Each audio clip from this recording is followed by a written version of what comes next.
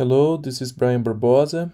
I'm a computer science student at the Federal University of Juiz de Fora in Brazil, and also I am a research assistant for the Center for Research and Education on Aging, the CREA, from the University of California in Berkeley.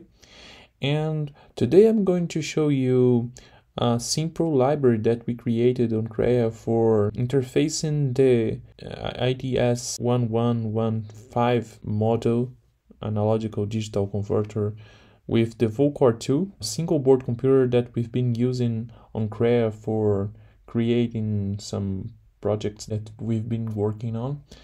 And I'm going to show you how to use it. It's very simple. As you can see, the ADS 1115 is the model that's on, on your screen right now.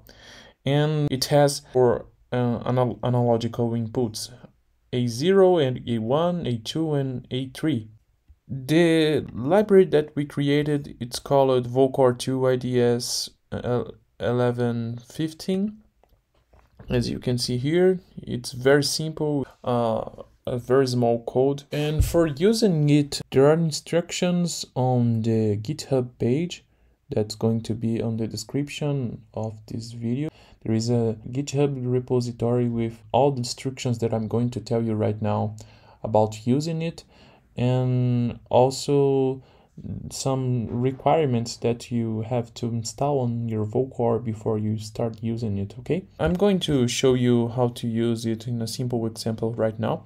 As you can see, the example is even smaller. We started by importing the library. The only thing that there is Inside the library is the class, as you can see here.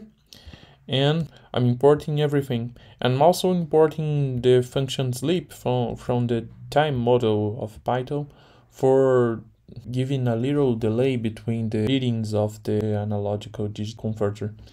So I'm creating an object of the class that I just showed you on the other file. Right here, I'm um, printing on the screen the readings of the pin 0.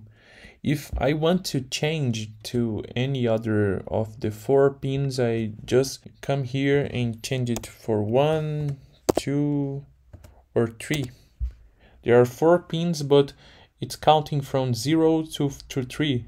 So um, keep that in mind that is not 1 to 4 it's 0 to 3 you're going to see now on the on your screen the circuit that i mounted on my table here i have a voltmeter of the VoCore and an arduino they are all connected to a potentiometer and they are all reading the voltage levels of the potentiometer.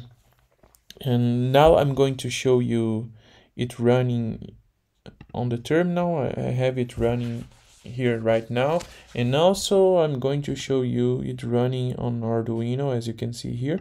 You will may notice that the amplitude of the ADS 1115 readings it's much greater than the Arduino ones because the ADS 1115 has 16 bits of precision and Arduino has only 10 bits if I'm not mistaken. You're going to see that on your screen too. I'm going to turn the axis of the potentiometer and they are going to vary its values too. Okay, you can see it happen. It's happening on Arduino and and also is happening on the VoCore 2. You're going to see on your screen that is also happening on the voltmeter. Okay. So this is it. This is a simple library for controlling the ADS 1115. It has a lot of more features and if you want to contribute, you are welcome to our project to help us increase the available codes for VoCore. It would be very nice to have a lot of and like there are for Raspberry Pis and Arduinos. Okay, this is it. Bye bye.